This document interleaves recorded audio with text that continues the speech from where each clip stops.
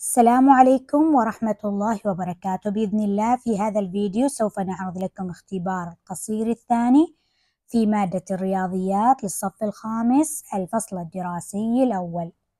عندنا هو هنا في السؤال الأول حوط حول القيمة المكانية للرقم خمسة. فعندنا سبعة فاصل خمسة وثلاثين فالقيمة المكانية نضع رقم سبعة صفر فاصل هنا صفر وهنا خمسة. فالإجابة تكون هذه. الآن ننتقل في السؤال الثاني أكمل المتتالية العددية. طبعا في كل مرة نزيد ثلاثة.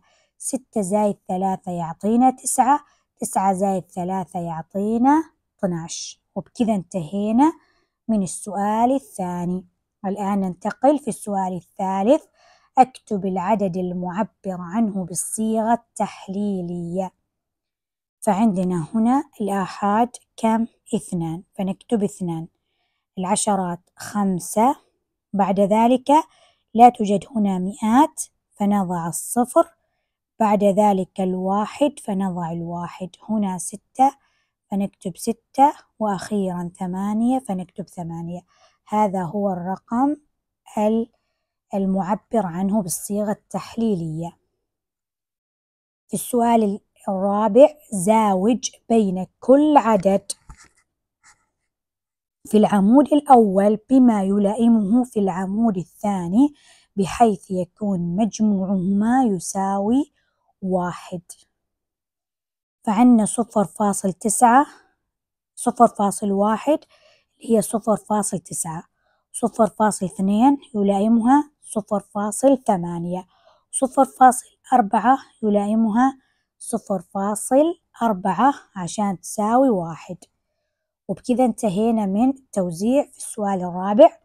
الآن ننتقل في السؤال الخامس. عندنا هنا لديك ثلاث عبارات صح أم خطأ؟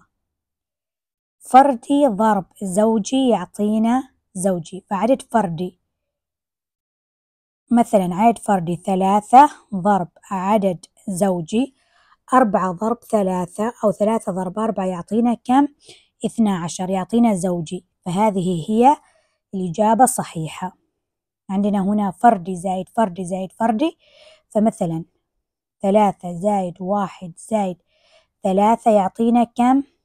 ستة سبعة يعطينا سبعة يعطينا زوجي. هنا خطأ أعطانا فردي فالإجابة خاطئة. زوجي ناقص زوجي فمثلا أربعة ناقص اثنان يعطينا اثنان يعطينا زوجي فهنا الإجابة صحيحة. فهذه هي الإجابات. الآن ننتقل في الصفحة التي تليها في هذه الصفحة.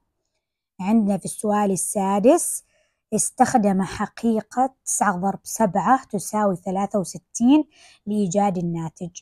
عندنا تسعين ضرب سبعة يعطينا ستمائة وثلاثين. فسبعمائة سبعمائة ضرب تسعة يعطينا ستة آلاف وثلاثمائة. واحد وثمانين ضرب سبعة يعطينا مئة وستة وعشرين. وبكذا انتهينا من السؤال السادس. الآن ننتقل في السؤال الآن ننتقل في السؤال السابع. رتب الأسعار حسب قيمتها من الأصغر إلى الأكبر. فعندنا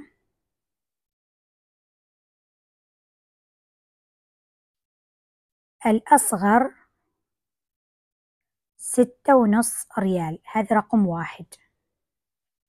بعد ذلك ستين ريال وخمسين بيسة. هذا رقم اثنان. بعد ذلك ستين ريال وخمسمية بيسة وأخيرا خمسة وستين ريال. وأخيرا خمسة وستين ريال. لا ننتقل في السؤال الثامن يفكر عثمان في عدد ما. نصف العدد إذا فكر به سبعة حوط حول ضعف العدد الذي يفكر به. ضعف العدد.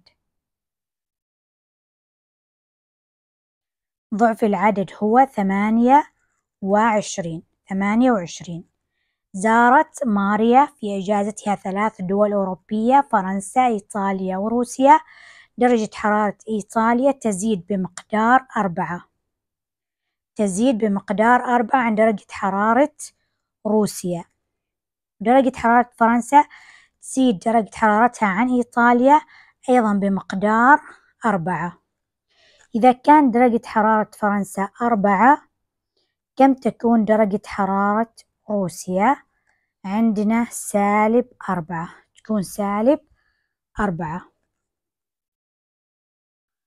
وبكذا انتهينا من هذا الاختبار. أتمنى نشر هذا الفيديو لطلاب الصف الخامس لتعم الفائدة وكذلك الاشتراك في القناة ووضع لايك لهذا الفيديو وشكرا لكم.